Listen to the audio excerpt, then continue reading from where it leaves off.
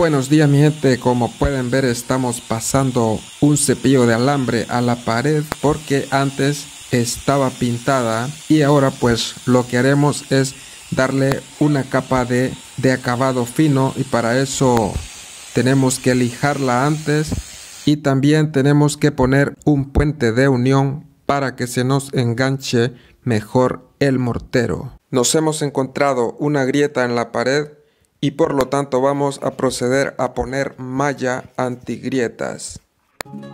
No vamos a tirar maestras o aristas, la vamos a hacer directamente, nos vamos a pegar a la pared, vamos a poner tres capas de mortero y luego la emparejaremos con una madera.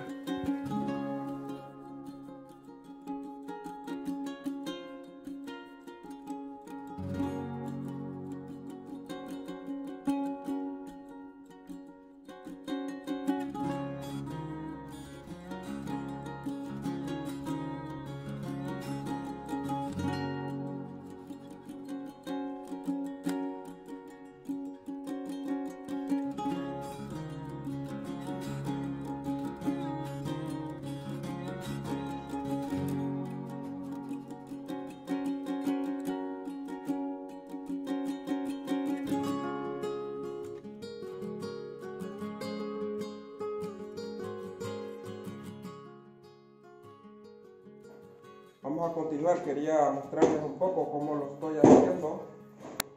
Había pintura, radial, cepillo, rasqué un poco con la radial, pasé cepillo. Como pueden ver mi gente, estamos poniendo este puente de unión de la marca Zika Flex con el rodillo dos horas antes de poner el mortero pasta o mezcla como, como le llamen ustedes, ¿verdad? Para preparar un mortero, lo único que necesitamos es agua, un capazo y ya está. El mortero ya viene preparado.